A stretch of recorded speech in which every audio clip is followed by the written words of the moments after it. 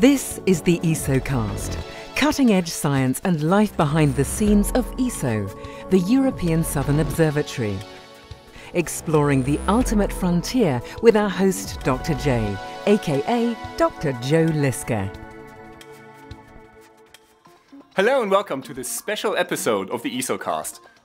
Leading up to ESO's 50th anniversary in October 2012, we will showcase eight special features portraying ESO's first 50 years of exploring the southern sky.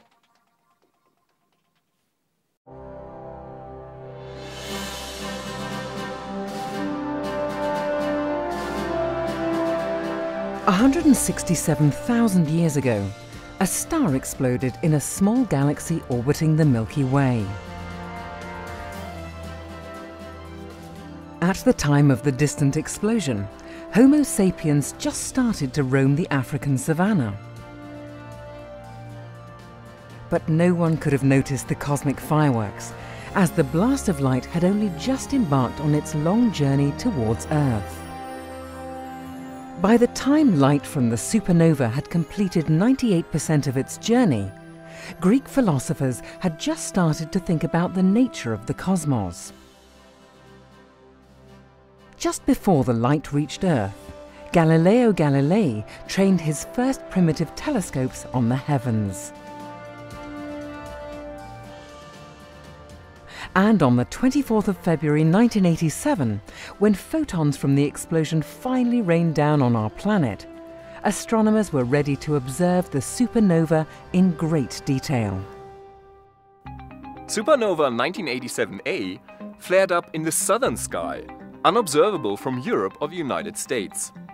But by this time, ESO had built its first big telescopes in Chile, providing astronomers with a front row seat to this cosmic spectacle. The telescope is, of course, the central tool that allows us to unravel the secrets of the universe. Telescopes collect far more light than the unaided human eye so they reveal fainter stars and let us peer deeper into space. Like magnifying glasses, they also show finer detail. And when equipped with sensitive cameras and spectrographs, they provide us with a wealth of information about planets, stars and galaxies.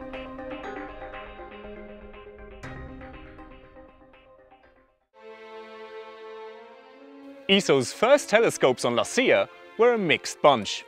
They ranged from small, national instruments to large astrographs and wide-field cameras.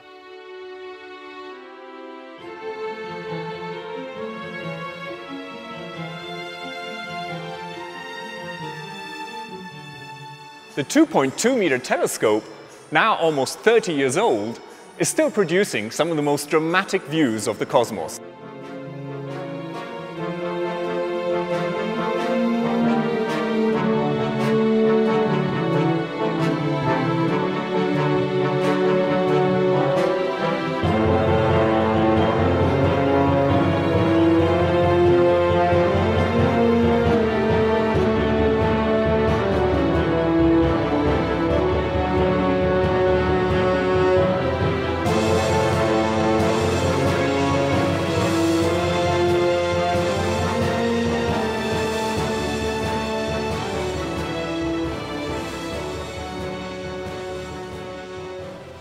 At the highest point of Cerro La Silla lies the biggest achievement of ESO's early years, the 3.6 meter telescope.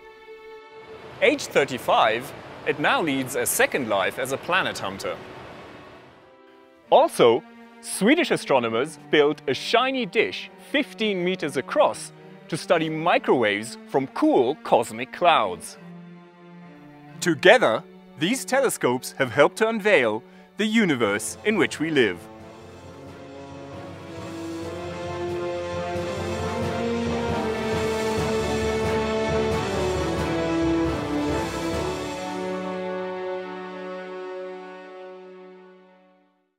Earth is just one of eight planets in the solar system.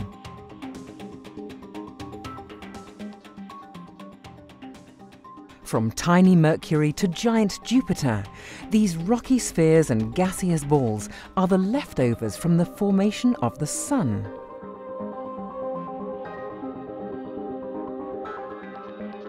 The Sun, in turn, is a middle-of-the-road star in the Milky Way galaxy. One pinprick of light amidst hundreds of billions of similar stars, as well as bloated red giants, imploded white dwarfs, and rapidly spinning neutron stars.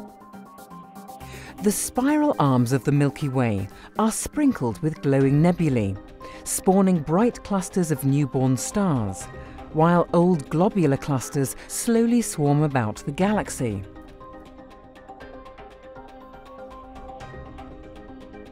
And the Milky Way is just one of countless galaxies in a vast universe, which has been expanding ever since the Big Bang, almost 14 billion years ago.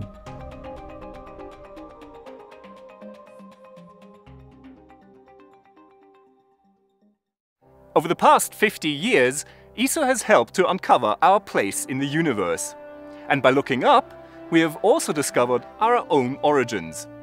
We are part of the big cosmic story. Without stars, we wouldn't be here. The universe started out with hydrogen and helium, the two lightest elements. But stars are nuclear ovens, turning light elements into heavier ones and supernovae, like 1987A, seed the universe with the products of this stellar alchemy.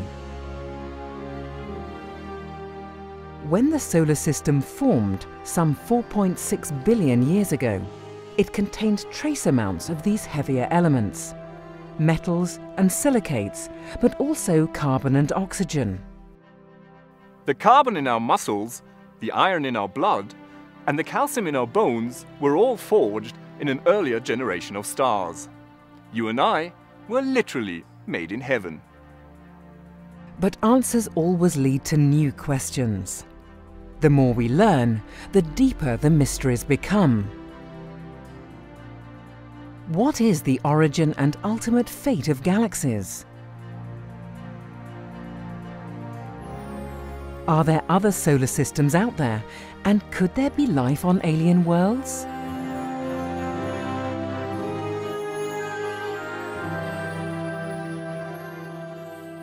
And what lurks in the dark heart of our Milky Way galaxy?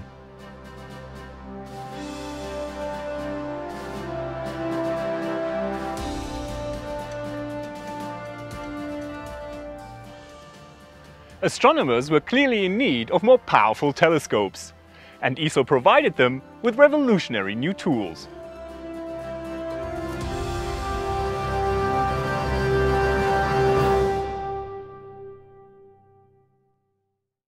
This is Dr. J, signing off from this special episode of the ESOcast. Join me again next time for another cosmic adventure.